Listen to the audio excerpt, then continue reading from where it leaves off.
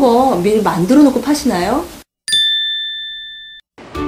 맥도날드는 고객의 주문과 동시에 만든다는 원칙에 따라 햄버거를 만들기 시작하였고 신선하고 따뜻한 햄버거가 포장을 거쳐 고객님께 전달되기까지는 1분 정도 소요되었다.